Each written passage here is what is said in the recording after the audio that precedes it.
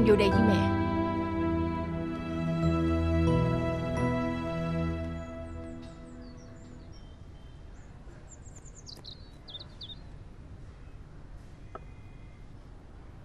Con ăn đi.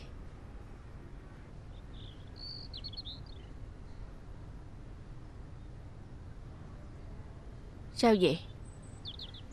Con ăn đi.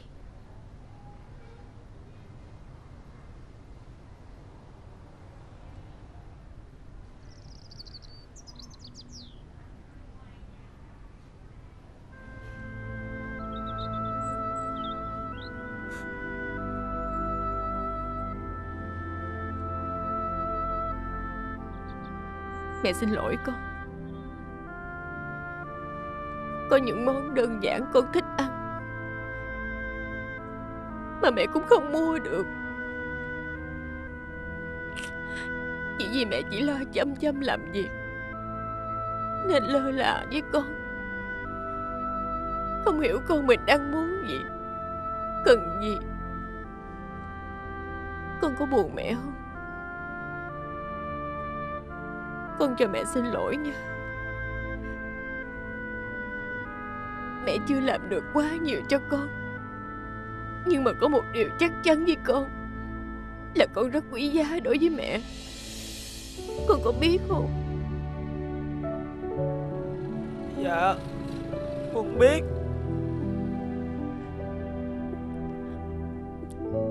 Cho dù người khác có cho mẹ thật nhiều tiền Để đổi lấy con Thì mẹ cũng không đồng ý đâu. Trên thế gian này Con là người thân duy nhất của mẹ.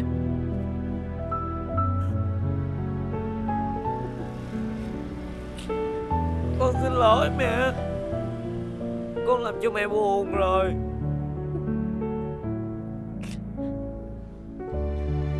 Thôi Con đừng khóc. Ăn bánh đi con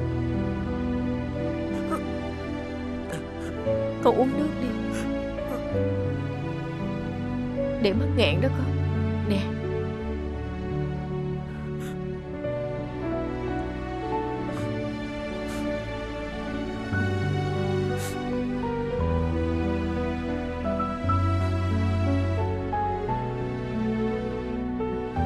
Ngon không con? Dạ ngon.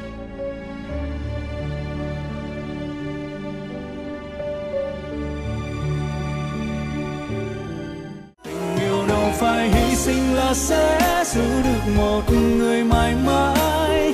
Càng không phải cô níu với hai bàn tay ai ở bên, vì sao không